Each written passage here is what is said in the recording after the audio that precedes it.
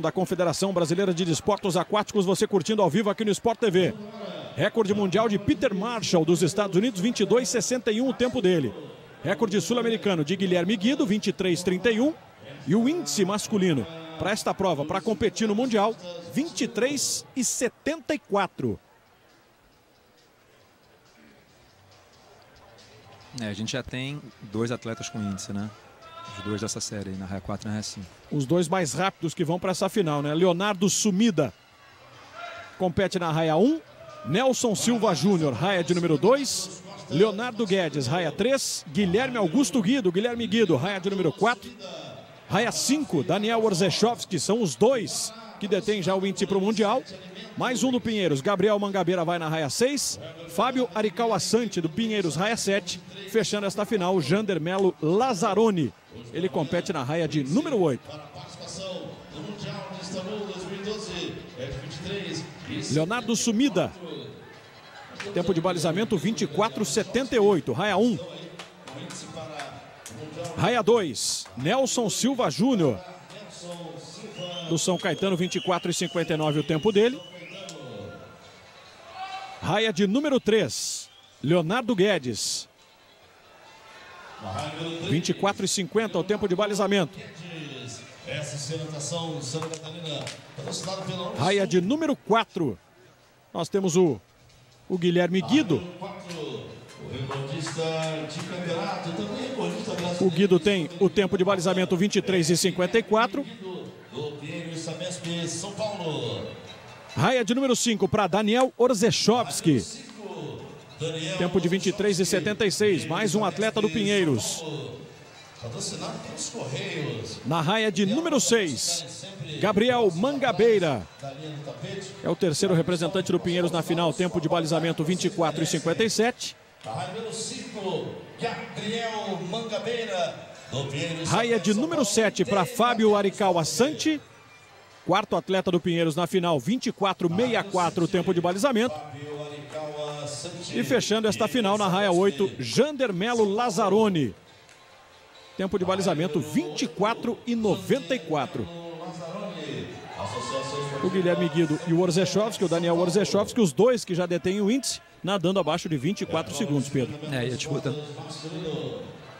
novamente deve ficar aqui na raia 4, entre as raias 4 e 5, né, com o Guilherme e com o Daniel. Você mencionou já dos dois nadando para baixo de 20, os únicos dois nadando para baixo de 24 segundos. Então é difícil que haja uma surpresa aqui, algum atleta tire a vaga dos dois atletas que a gente mencionou. Foram quatro recordes já estabelecidos hoje pela manhã. Também vamos ficar de olho nisso.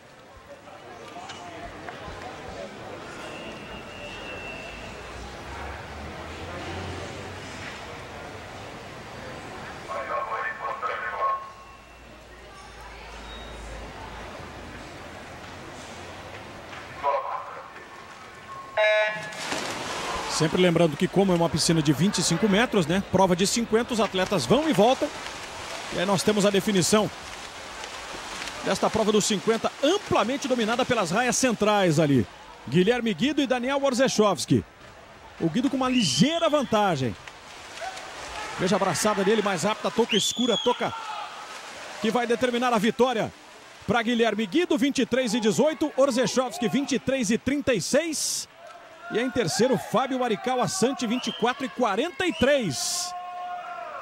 Uma prova fortíssima, né? De Guilherme Guide e Daniel Borzechovski. O novo recorde sul-americano, né? Recorde sul-americano, exatamente. Estava olhando aqui justamente para o tempo, né?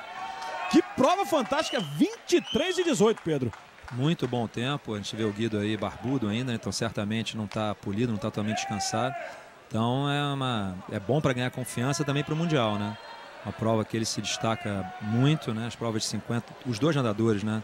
Tem essa prova como especialidade. Também nadam bem o 100, mas especialmente a prova de 50. E o Guido fazer, bater o recorde sul-americano, o melhor tempo dele, aí sem estar 100% descansado e preparado, certamente vai fazer isso para o Mundial. É bem, muito encorajador para ele e bacana para a gente, porque é uma chance boa do Brasil ter um medalhista no, no Mundial nessa prova. Já tinha um índice pelo José Finker, né? Os dois.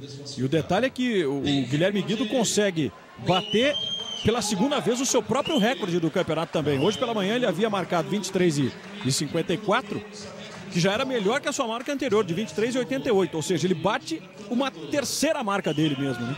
É, realmente, nadando, como a gente chama, nadando mais pesado, né? A gente pode ver ali pelo, pelo corpo dele que ele está raspado. A gente, é um detalhe assim, mas você vê que a água desliza ali pelo corpo. Provavelmente ele está raspado, mas é, não está 100% preparado, se preparando para o Mundial. Muito bacana, muito legal o tempo do Guido. Voando na piscina, Joana de Assis, Guilherme Guido. Tô aqui com o Guido. Bom, pelo tempo dele, a gente olha ali, tá bem atrás da gente placar, 23 e 18. Você já tinha feito um tempo muito bom de manhã. Aí você já, você quando nadou, você já sabia que, você já sentia que você estava bem para fazer um tempo como esse? Foi, eu estava esperando um resultado bom, mas não tanto quanto o recorde sul-americano que eu fiz no Finkel, mas ah, pelo jeito que eu venho treinando aí, fazendo trabalho com o Amém em Pinheiros, é, com certeza a gente vai ter um resultado bom ah, mais pra frente, né? Agora não tô polido ainda, até deixei um pouquinho da barba, então, então a gente tem um pouquinho de atrito aí que dá pra tirar pro, pra chegar no Mundial e nada pra melhor da vida. Qual a importância de ter o Daniel na tua cola, né? Pra você conseguir um tempo como esse hoje? Não, muito bacana ter o Daniel do meu lado, né? A gente treina junto agora e eu acho que é, ele chegou aí há uns dois anos, atrás, uns dois anos atrás, fazendo ah, perto do meu tempo, bateu o recorde sul-americano na longa. Isso eu acho muito bacana para a evolução do esporte.